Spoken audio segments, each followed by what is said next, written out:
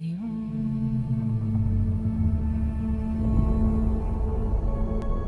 planet Arrakis is so beautiful when the sun is low. Rolling over the sands, you can see spice in the air.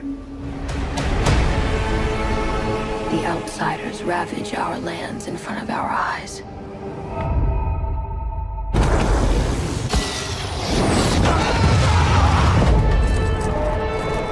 Cruelty to my people is all I've known. What's to become of our world? Paul.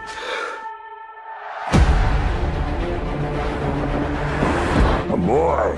Hey, Duncan, can I trust you with something? Yes, always. You know that. I've been having dreams about a girl on Arrakis. I don't know what it means.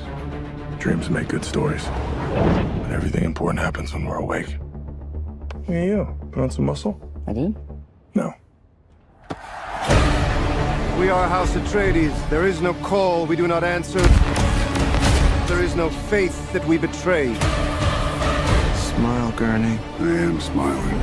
The Emperor asks us to bring peace to Arrakis. House Atreides accepts! I know you. There's something awakening in my mind.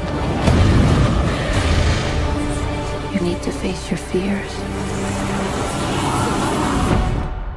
Come with me. You need to be ready. You've never met Harkonnens before. They're not human, they're brutal. The Duke's son sees too much. This is Hyjun. Kill them all. God in heaven. Get everything with guns off the ground! Go!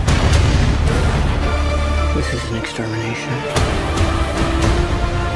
They're picking my family off one by one. Let's fight like demons.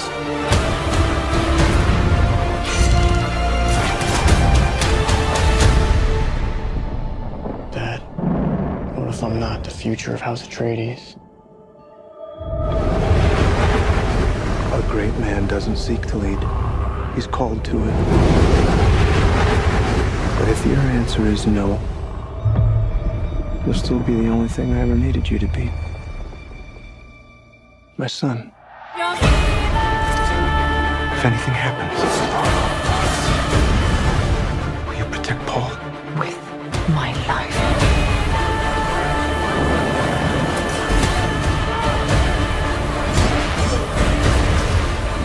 together can we stand a chance.